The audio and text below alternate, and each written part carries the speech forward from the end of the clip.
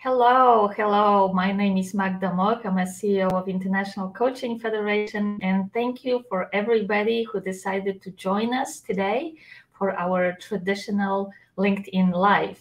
As the year is coming to an end, I'm super excited to have my today's guest, Tracy Sinclair. Uh, Tracy is a uh, master certified coach, member of ICF, leader for ICF for years, and also very, very accomplished coach, mentor, supervisor, trainer, assessor, you name it. Tracy does it all. And uh, Tracy and I know each other for quite a while. As I said, Tracy has been a leader for the uh, for ICF for many many years, and uh, I am delighted that Tracy is joining us today because you know wh- whichever part about coaching you mentioned, Tracy has some experience, some observations, some reflections to share and offer. So Tracy, thank you so much for joining us today. Oh, thank you, Magda. I've been looking forward to this, and it's a wonderful privilege to be able to come and talk about coaching. Yeah this is this is what it is all about right? And uh, you also need to know that tracy has been an award winner and also a um, finalist for the uh, uh, thinkers 50 marshall goldsmith award in coaching and mentoring. So um, i could spend you know about the entire broadcast talking about um, different things that that tracy did does will do. But uh, but tracy why coaching? You you had quite a significant career in uh, business, um, and and and then and then and then comes Tracy the coach. Yeah, it's interesting, isn't it? I think why coaching? A couple of reasons actually. Mm. Within all the different roles that I've had, um, which have been quite a few before coming into coaching. Um, I used to be a teacher and a translator and an interpreter. Then I became an operational leader in financial services, a project manager, a change agent. And one of the things that's at the heart of all of those things is communication. Mm. And one of the things that I loved about coaching was how it facilitates communication. And I don't just mean in the traditional sense of good communication skills, but in a much deeper way of how do you truly connect with someone? How do you truly tap into them and their essence so that you can support them, develop them, nurture them, inspire them, uh, understand them, probably primarily. Um, so that was one thing that I, I just, when I discovered coaching, thought, gosh, this is such a powerful communication vehicle. Mm. is applicable almost anywhere um, and and and that was really, I think, professionally what what what made me just dive straight in. Yeah, you mentioned being a, a change agent, project manager, and we all know that. Uh, many change initiatives are not successful because of lack of communication or the communication at the very superficial level rather than as you mentioned this deeper one you know when i when i looked at your website uh, it just it was just so beautiful because you open the website and first thing you see is turning aspiration into reality how did you come up with that uh, I don't know actually. That might have, must have been one of my creative moments. Who knows? But but I guess it, it is about that, isn't it? Mm.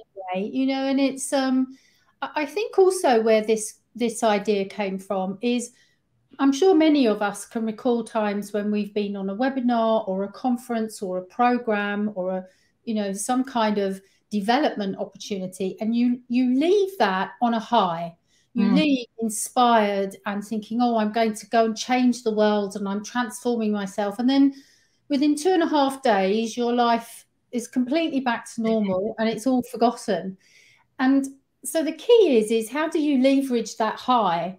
Mm. How do mm. you turn the high and the, the the inspiration or the insight into something that actually is sustainable and practical and and mm. and and that's where the reality bit comes in because if we don't if we can't turn things into reality then they just stay dreams right which of course are lovely to have but we want we want to actually turn them into tangible features of our lives so i think that's that's the essence really of where that comes from Mm. Yeah, another tidbit about change management is that coaching is one of the most significant and powerful supporter for learning, right? So, um, so communication and, and sustainable learning. That's that's quite a lot right there.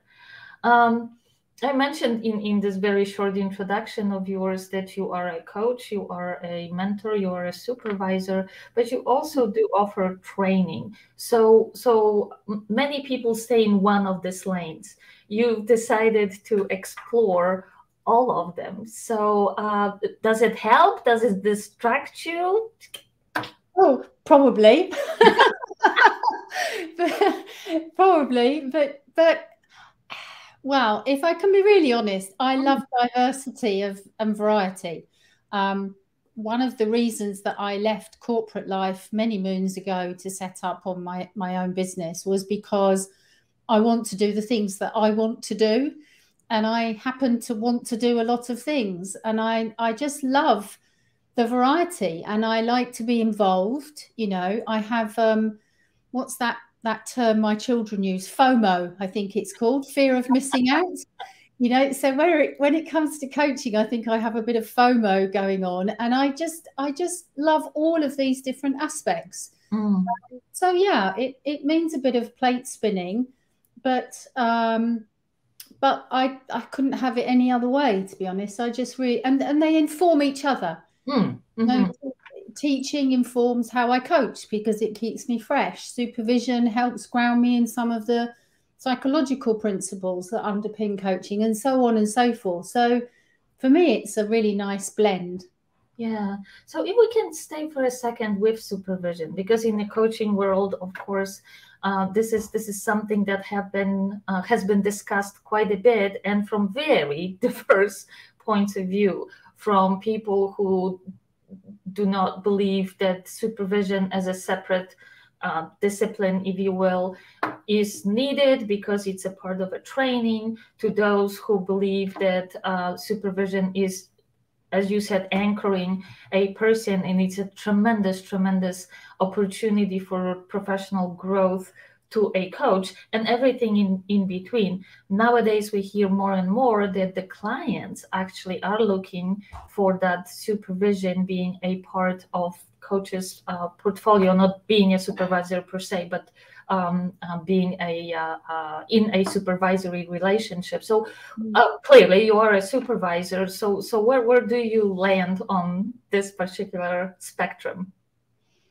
Yeah, I mean, obviously, everyone is entitled to their own perspectives of mm-hmm. what's valuable and, and all of those things. But I got interested in training to be a supervisor through being supervised because ah. I'm very open and I'll I'll engage in any learning or development opportunity I can. And I heard about this thing called supervision, um, got myself a supervisor, and found it to be incredibly transformational. Mm-hmm. Um, and and different to being coached because I have a coach also.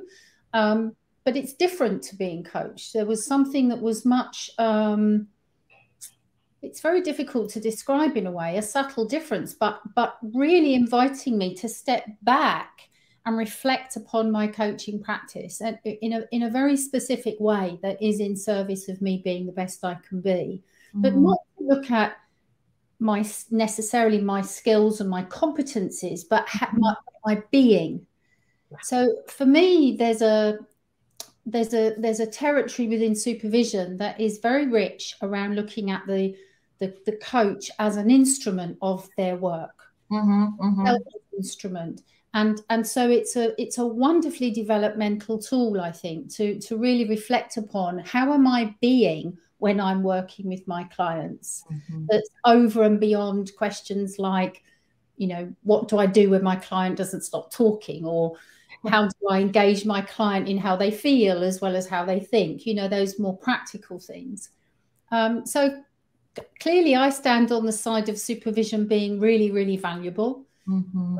Um, and I would just say to anyone who's not done it, have a go and, and yeah. see what you think you know this is what we all, all often say to a prospective clients right saying if you never tried it try it if you don't like it, you don't like it. But but I, I sense that there is a little bit the same with supervision. Mm-hmm. Well, um, uh, I I did not mention, but I know that the little introduction um, banner mentioned also that you wrote a book. So here we go, FOMO again, right?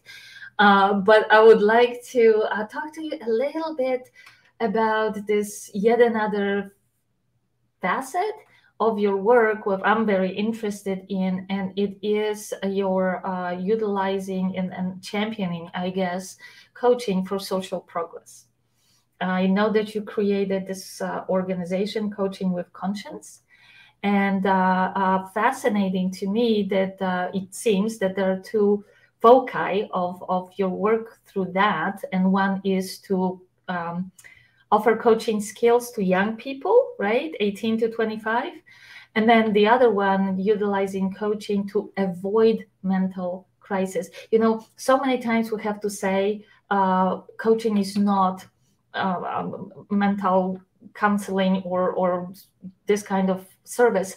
It's but but that specific wording about coaching helping avoid mental crisis. So please do share a little bit more about this this work i mean they don't necessarily are separated in my mind because what we hear lately is that the mental crisis is hitting young people with tremendous tremendous uh, force I've seen the UN uh, report maybe about a month ago that the number of uh, anxiety and um, depression and this kind of mental um, difficulty in young people raised by 25% from the year prior or during the pandemic anyway. It's it's staggering. It's it's tragic in fact. So so even more so i'll be very very interested in hearing more about about your work for social progress.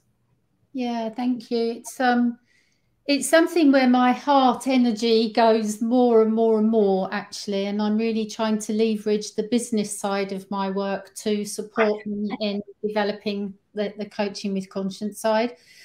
The, the two areas are separate and combined at the same time as you said because there is a huge crossover with the youth, younger population and mental health but um, the, the, the model is very simple in a way on the mental health side of it it's very much around um, I'm trying to connect and form collaborations with organizations where mental health challenges have a, a you know are present.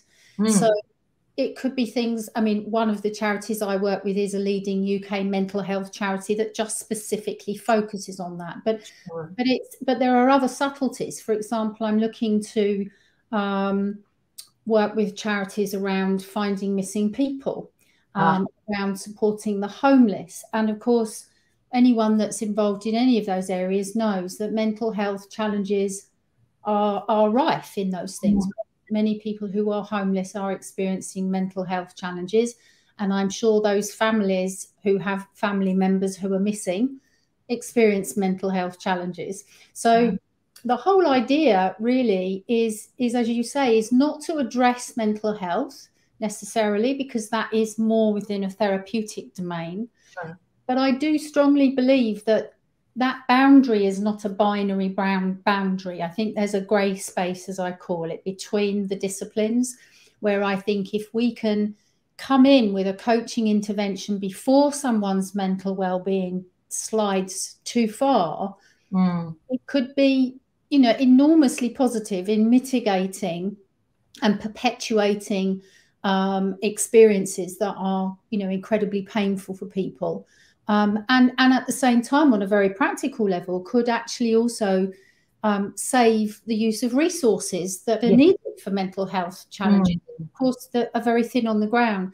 So, so that side of it is, you know, there's a very simple model that I work with is that I'm trying to anyone that is in my alumni community who has worked with me in any or trained with me in those capacities, I try to support them by finding them coaching opportunities to help them have meaningful work, mm. either on a pro bono or a, or a reduced fee basis to give them the capacity to start building their coaching log. Um, I can then try to organize fairly large scale coaching opportunities to match with volunteers in charities or staff in charities who would otherwise never have access to coaching. Yeah. Um, and everybody wins, you know. So I'm I'm trying in a way to be a, just a bit of a matchmaker to try to I can find the community for coaches. I've got a, a wonderful community of coaches, um, and I just join them up with people who want the coaching. Um, and on the young people side, that's just a whole nother very exciting area.